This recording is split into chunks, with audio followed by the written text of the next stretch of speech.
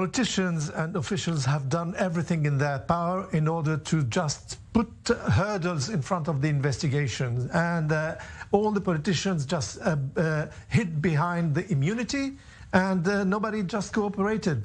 They were with the investigator, and even people that were summoned by the and subpoenaed by by, by the investi- uh, by the investigating committee has has not uh, has this finally did not appear and did not uh, did not give uh, any testimony. The, the thing is that the only ones who were caught were the, the, the employees of the area and the responsible, direct responsible of the port. But in fact, who brought the 2,750? How, how come that only 550 of, the, uh, of that amount exploded? And where did 2,200 uh, other tons disappear? Is it, I mean, the, the story is that Hezbollah just uh, uh, sent it to Syria and Syria was just employed as an explosive barrels sent and uh, uh thrown at the, the, rebels in Syria. So, and because of the fact that they could not leave it in Syria, it would be a, a, a target for, for Israel or for any uh, other force. It was, it was kept in Beirut. Hmm you know, uh, uh, and uh, exploiting the corruption, the negligence, the all the things that have been the, quoted in, in, the, in the report, and the fact that the, the Lebanese system is corrupt from from top to basis and basis to top. There's nothing here, and this is what what happened.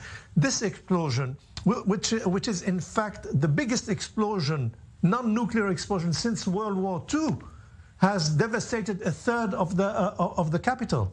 Of, uh, of, Beirut, and nothing has been done in order to restore the, the, the uh, to, to, rebuild. Yeah, I mean, I, I, was in Lebanon in 19 uh, the, when I was a kid, and there was this earthquake, huge earthquake in uh, in 1956, 57, and when uh, we went to Lebanon in 1982 through those areas that had suffered from the earthquake, houses were still there in rubbles and nothing had been uh, uh, uh, uh rebuilt. So th this is probably the same will be with Beirut. And uh, looking at the region here and the, and the, the powers that are playing in, in Lebanon, as you mentioned, a broken down system, the power sharing model there gone essentially. Iran has proven itself to be one of the more effective state builders in the region from Iraq, Syria, looking at Yemen.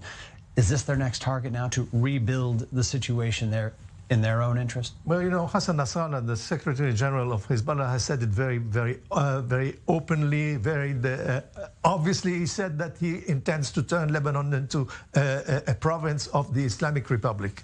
So this is what what we, we are facing.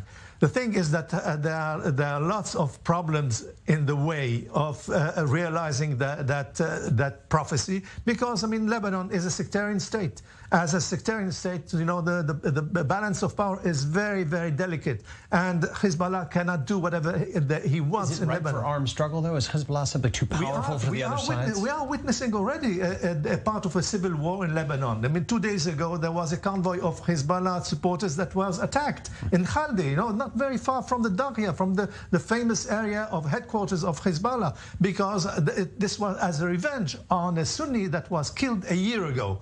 Tripoli, for instance, is out of the uh, uh, of the scope of the Lebanese army. The Lebanese army does not even dare approach uh, Tripoli. There are areas in Lebanon where there is no control of the government and militias already there. So we are not uh, uh, telling stories about a possible civil war in Lebanon. We are already at the beginning of a civil war, at the beginning of, a, of I would say, of the abyss where the, the state of Lebanon has already reached, and it is in, in fact falling.